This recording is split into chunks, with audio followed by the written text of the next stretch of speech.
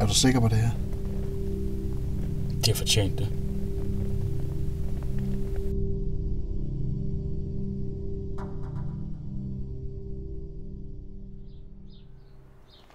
Det var godt nok en fin teaterforestilling. Synes du ikke, Mogens? Jeg tror sgu, der er en fejl i ordren.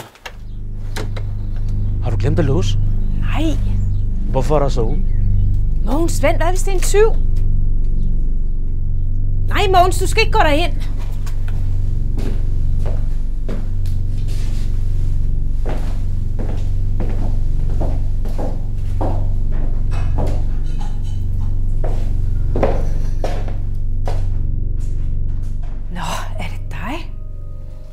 Hej mor.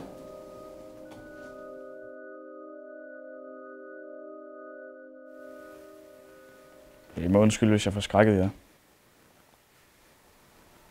Det er okay. Vi har prøvet at ringe til dig.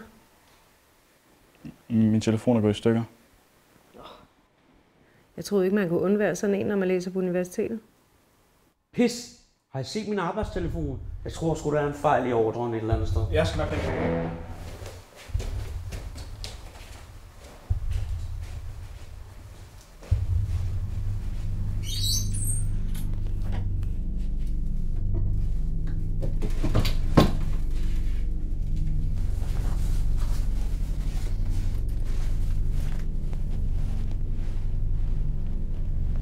I kom sgu hjem. Holder du stadig? Godt. Hej.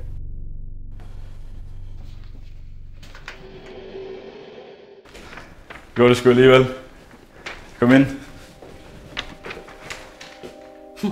På idéhistorie, det er der jo ikke nogen fremtid i. Find dig et ordentligt studie. næste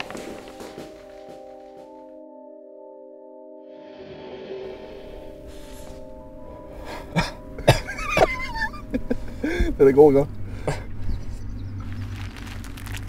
Jeg er så stærkere, hvis du ikke bruger det. Han er stærk.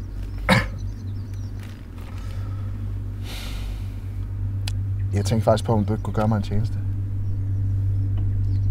Pærerne, de var forbi mig i går, og jeg, jeg tør simpelthen ikke holde på det længere. Kan, kan du ikke holde på det, indtil jeg finder et bedre sted? Jeg tror sgu ikke, det er så godt. Jeg er virkelig på røven, hvis du ikke hjælper mig.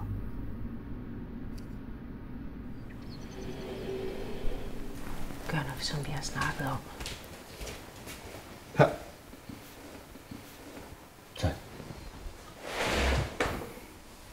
Men øh, angående den dag der, Jeg har også tænkt på det. Hey. Hvad så?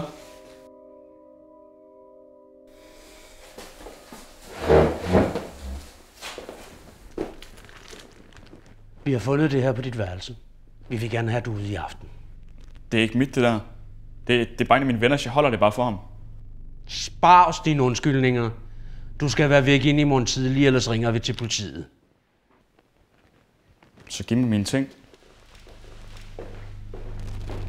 Hallo, hvad laver du?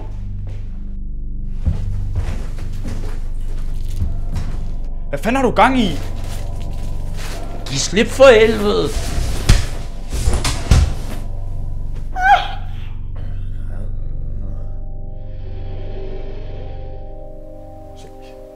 Virkelig ikke, hvad der gik af mig. Det gør vi så sandelig heller ikke. Du har jo helt tabt hovedet, ikke? så Jeg er helt ude af det nu. Jeg snakker ikke mere med ham, jeg gemte det for eller noget. det er godt. Vi overreagerede vist også lidt. Vi glemmer det.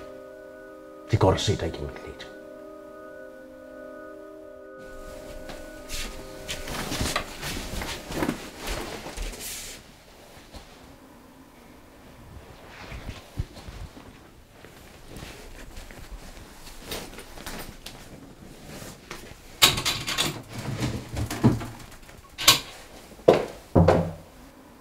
Du kan også blive at få noget rigtig mad. Så bæk sig bare noget hurtigt sammen. Oh, hvorfor står den skuffe åben? Øh, jeg har godt nok en aftale nu her. Nå, øh, okay, men det var hyggeligt at se dig. Øh, hvis du mangler penge, så er der lidt her. Nej, det koster du virkelig ikke. Jo, du skal da have lidt, når du er hjemme.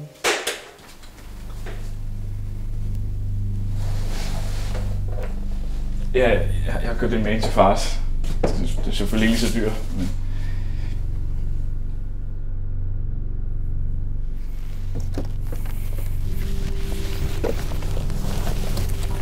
Hold kæft, det tog lang tid. Fik du fat i noget? Ja.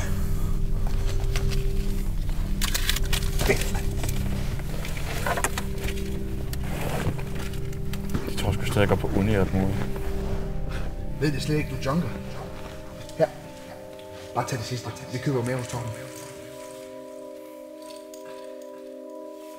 Op med humøret, ikke? Det har jo fortjent det.